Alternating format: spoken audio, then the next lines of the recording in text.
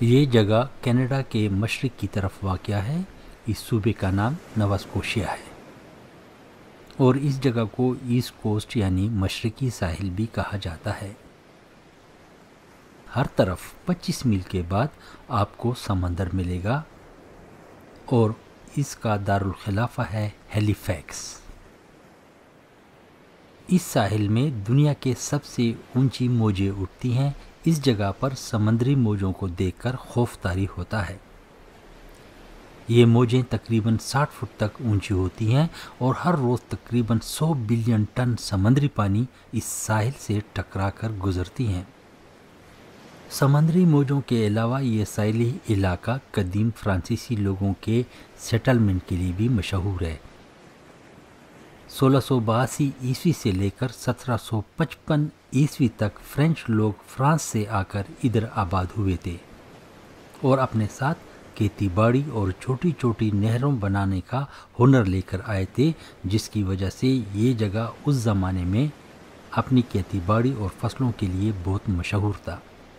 اور ان وقتوں میں فرانس سے یہاں تک آنے کے لیے تقریباً ایک مہینہ سمندری سفر کرنا پڑتا تھا، جس کی وجہ سے یہ جگہ اس زمانے میں اپنی کھیتی باڑی اور فصلوں کے لیے بہت مشہور تھا۔ ہیلی فیکس جو کہ اس صوبے کا دارالخلافہ ہے، وہ یہاں سے تقریباً ڈیڑھ سو میل دور ہے۔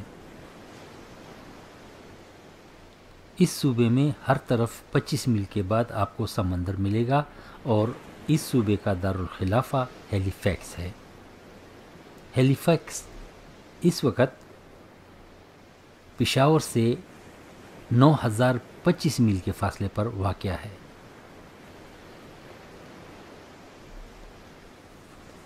سترہ سو پچپن عیسوی کے دوران انگریزوں نے اس جگہ پر حملہ کر کے فرانسیسی لوگوں کو یہاں سے بے دخل کر دیا تھا۔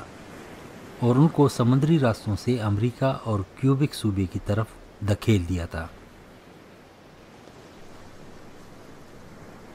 نواسکوشیا صوبہ اپنی خوبصورتی، سرسبز و شاداب پہاڑوں کی وجہ سے بہت مشہور ہے۔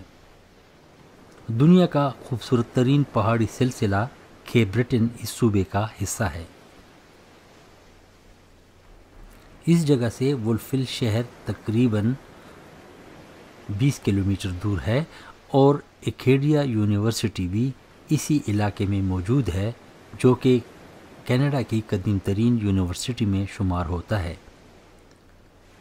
اس یونیورسٹی کی بنیاد اٹھارہ سو اٹھتیس میں رکھی گئی تھی۔ یہ علاقہ اپنے پھلوں اور مختلف قسم کے میووں کے لیے بہت مشہور ہے۔ سن اٹھارہ سو میں یہاں کے سیب بحری جہازوں کے ذریعے انگلینڈ کو ایکسپورٹ ہوتے تھے، کیونکہ یہ جگہ اپنے سیب کی پیداوار کے لیے بہت بڑی شہرت رکھتا ہے۔